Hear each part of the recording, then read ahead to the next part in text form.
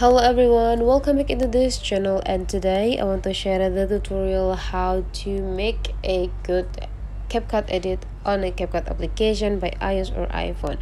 So first thing we have to do is just go with a new project and then after that you just need to insert which video that you want to add. So for me I'll have this just click add to add the video in on your project. So here I already input or have the video on my project. How to make it uh, how to have a good edit. So first if you can see here there is no much or uh, bright or light here. I want to make it looks brighter. So you just need to click it and after that we just need to go into this bottom side.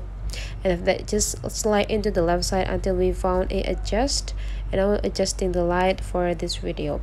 I want to add a brightness. So I want to drag this brightness into the right side to add more bright okay? And for the contrast i want to make it like less contrast so i want to drag into the left side. And for the saturation i want to make it like uh i want to increase in the uh, yellow color so let's drag into the right side.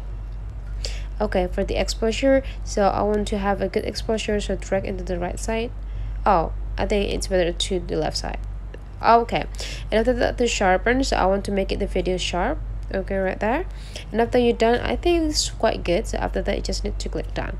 And after we already finished with the quality of the light of the video i want to add sound. Since sounds or audio is one of important thing that affects the um, the whole result for the editing. So you just need to click add audio. And after that exploring the add audio that already give by a uh, CapCut and after that just need to find out which audio that suit.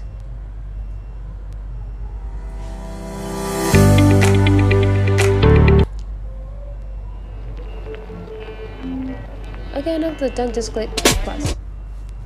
And after that we just need to go with uh, adjusting the length of the the sound. So in this first two seconds or three seconds there's no sound so i want to cut this uh, sound here.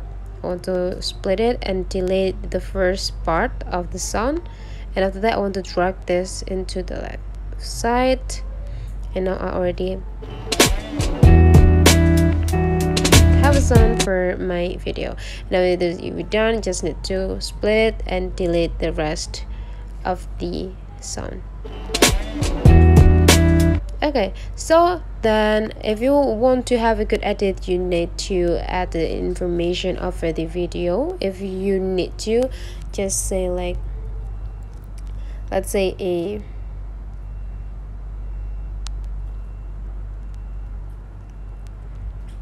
okay styling the fonts by click or choosing the fonts that probably suits and after that just adjusting the position. And after we've satisfied with everything just click done. And uh, let's see the results.